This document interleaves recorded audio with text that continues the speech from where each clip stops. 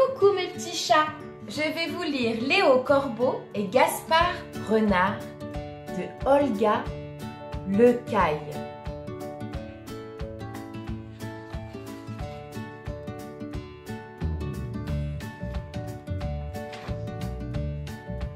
Léo Corbeau et Gaspard Renard de Olga Lecaille.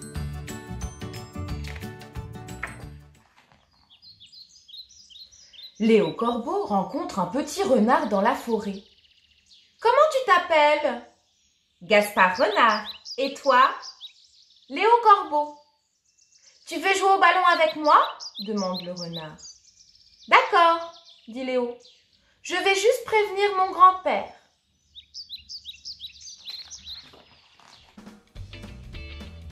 Grand-père, je vais jouer au ballon avec Gaspard Renard.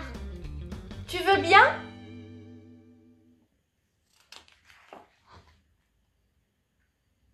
Gaspard Renard Ah non, pas question dit grand-père Corbeau. Je me suis disputé très fort avec son grand-père. C'est un filou. À cause de lui, tout le monde s'est moqué de moi. C'est une histoire qui a même été racontée dans les livres. Regarde là, tu vois? C'est moi. Ce jour-là, j'avais trouvé un magnifique fromage. Et ce filou de renard me l'a volé.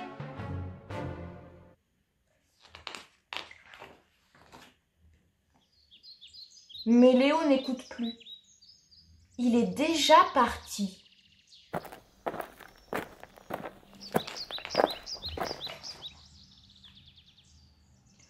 Mon grand-père ne veut pas qu'on joue ensemble, dit Léo à Gaspard. Il dit qu'il est fâché contre ton grand-père. Ah bon? dit Gaspard. Je vais demander à mon grand-père. Attends-moi, je reviens tout de suite.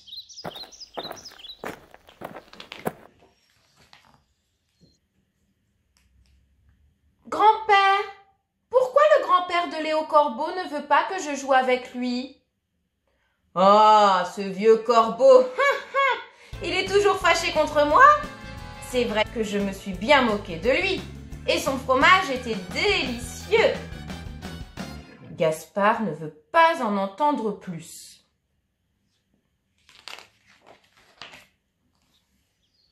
Il part retrouver Léo. Mais tout à coup, un grand vent se lève. C'est la tempête.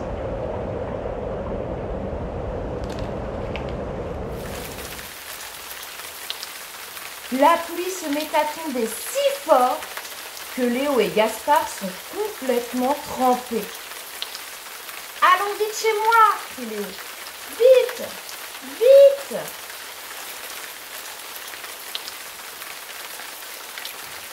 Grand-père, je suis avec Gaspard. Est-ce qu'on peut rentrer se sécher On est trempés.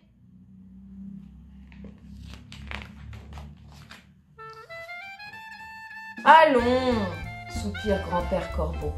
Puisque c'est comme ça, faisons plutôt des gâteaux.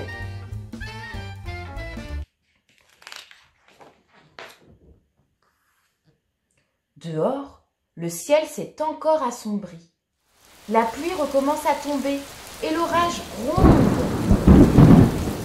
Grand-père Renard met son grand manteau de pluie et son grand chapeau.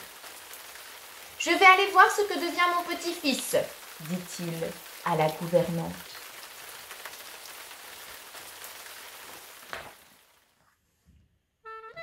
Dans la cuisine de grand-père Corbeau, tout le monde travaille. Quand tout à coup... Badaboum Un terrible coup de tonnerre fait trembler la maison. Tout s'éteint. C'est l'épouvante.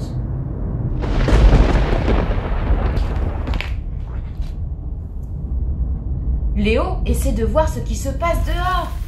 Il aperçoit la silhouette de grand-père renard avec son grand chapeau et son grand manteau et ses yeux luisants dans le noir. Que vient-il faire ici par ce temps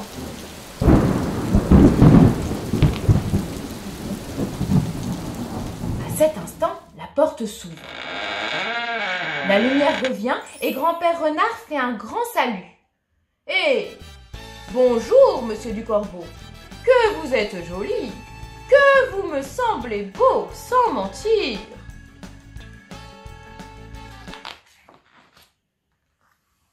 Assez, monsieur du Renard. Assez. Je n'ai pas de fromage à vous proposer aujourd'hui. Mais je crois que mes biscuits ne sont pas mauvais. Si vous voulez me faire le plaisir d'y goûter,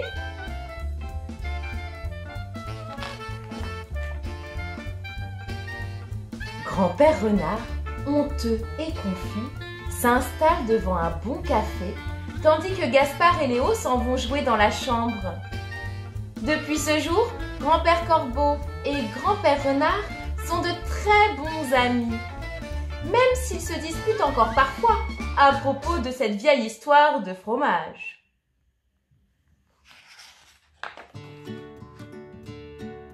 Et c'est fini C'était l'histoire de Léo Corbeau et Gaspard Renard.